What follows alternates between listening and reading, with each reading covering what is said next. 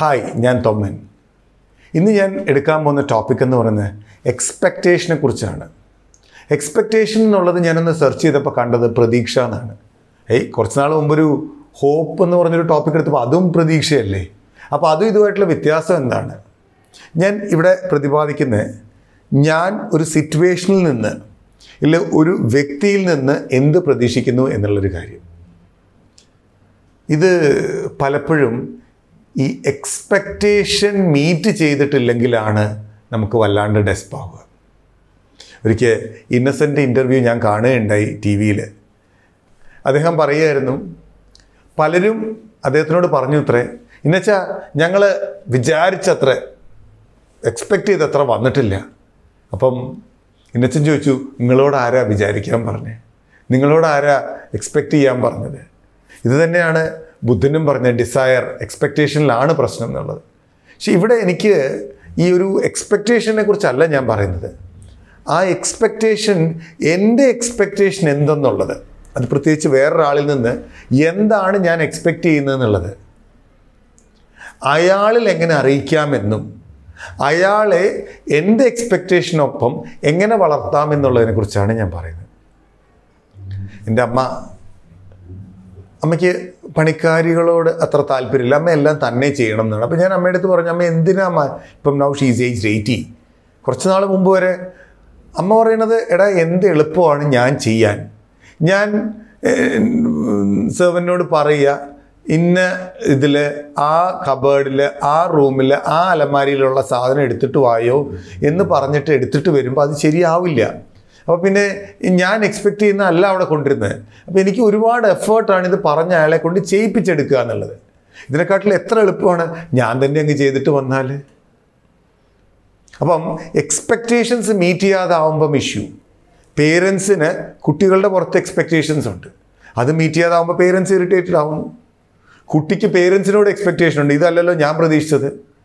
ഭർത്താവിനും ഭാര്യയോട് എക്സ്പെക്റ്റേഷൻ ഭാര്യയ്ക്ക് ഭർത്താവിനോട് എക്സ്പെക്റ്റേഷൻ എല്ലാവർക്കും എല്ലാവരുടെയും ഓരോ പ്രതീക്ഷകൾ ഓരോ എക്സ്പെക്റ്റേഷനുണ്ട് അത് മീറ്റ് ചെയ്യാതാവുമ്പോഴാണ് എല്ലാവരും ഇറിറ്റേറ്റഡ് ആവുന്നത്. വ്യക്തികളിലേക്ക് ദേഷ്യം വരുന്നത്. എന്തിനാണ് ആ ദേഷ്യം വരുന്നത്? കാരണം ആ ഞാൻ ഉദ്ദേശിച്ചത് അല്ലല്ലോ നടന്നിട്ടുള്ളത്. ഞാൻ എന്താ ഉദ്ദേശിച്ചതെന്ന് ആർക്കറിയാം. ഞാൻ എന്താ ഉദ്ദേശിച്ചതെന്ന് എനിക്കേ അറിയുള്ളൂ. നമ്മുടെ പലപ്പോഴും സംഭവിക്കുന്ന ഒരു കാര്യം എന്താണെന്ന് വെച്ചിട്ടുണ്ടെങ്കിൽ എന്റെ മനസ്സിൽ ഞാൻ ഒരെണ്ണം ഉദ്ദേശിക്കുന്നു. അത് കഴിഞ്ഞിട്ട് ഞാൻ പ്രതീക്ഷിക്കുന്നു ഞാൻ ഉദ്ദേശിച്ച കാര്യം മറ്റൊരാൾക്ക് മനസ്സിലായി എന്ന്. ഇതിന്റെ ഒരു സിമ്പിൾ നമ്മുടെ ഒരു തോട്ട് പ്രോസസ്സ് പോകുന്ന കാര്യം ഞാൻ പറയാം. ഒരു മെഡിക്കൽ ക്യാമ്പോ അല്ലെങ്കിൽ നല്ലൊരു റഷ് വരുന്നൊരു കാര്യമാണ്. ഒരു ക്യൂ ഉണ്ട്.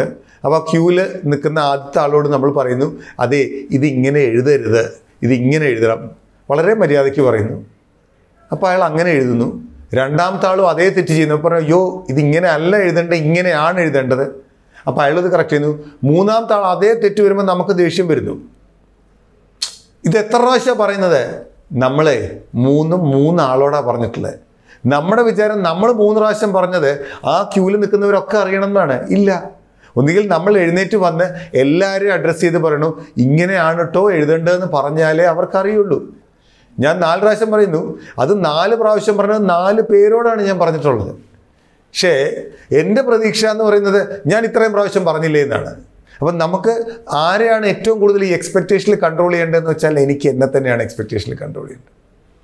പലപ്പോഴും നമ്മൾ പറഞ്ഞു വരുമ്പം ഈ ക്ലാഷുകൾ വരുമ്പോൾ ഒന്ന് ചോദിക്കുമ്പം ഇത് അങ്ങനെയാണ് ചെയ്തത്?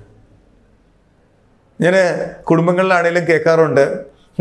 എന്റെ കെട്ടിയോൻ അമ്പത് ഷർട്ടിലെ നാൽപ്പത്തൊമ്പത് എണ്ണം കൊണ്ടുപോയി കഴിഞ്ഞാൽ അത് ഞാൻ പറയും ഇതല്ല ഞാൻ ഉദ്ദേശിച്ചത് മറ്റേതാണെന്ന്. അപ്പം അത് വളരെ എളുപ്പമല്ലേ?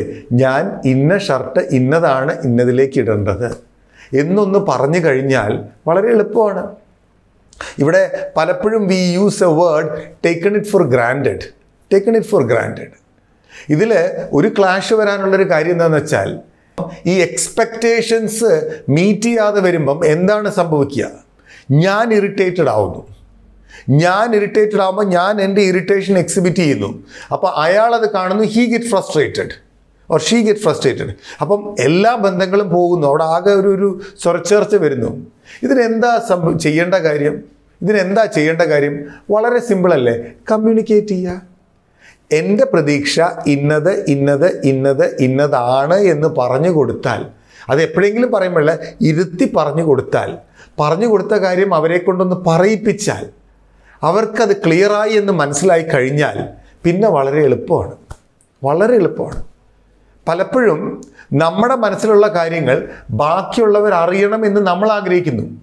നമ്മൾ ചിന്തിക്കുന്ന പോലെ അവർ ചിന്തിക്കണം നമ്മൾ ആഗ്രഹിക്കുന്നു. പറ്റില്ല. നമ്മൾ അവരെ കൊണ്ട് ചിന്തിപ്പിക്കണമെങ്കിൽ നമ്മളത് കമ്മ്യൂണിക്കേറ്റ് ചെയ്താലേ പറ്റുള്ളൂ.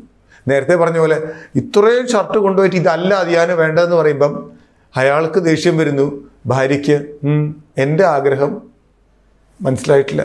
ഭർത്താവ് ചോദിക്കണു ഇത്രയും നാളെ എന്റെ കൂടെ നടന്നിട്ട് ഇതുവരെയായിട്ട് എനിക്ക് എന്താ വേണ്ടതെന്ന് നിനക്കറിയില്ലേ? ഇത് അറിയണമെന്നുണ്ടെങ്കിൽ എല്ലാവർക്കും വായ തുറന്നൊന്ന് പറയുക എന്നുള്ളതാണ്. പലപ്പോഴും നമ്മൾ പറഞ്ഞു വരുന്നതിന്റെ ഒരു രീതി എന്താണെന്ന് വെച്ചാൽ ഈ ഭക്ഷണം ശരിയായിട്ടില്ല.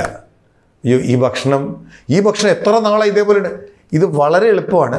ഈ ഭക്ഷണത്തിന്റെ കറിയുടെ കൊഴുപ്പ് കുറച്ച് കൂട്ടണം.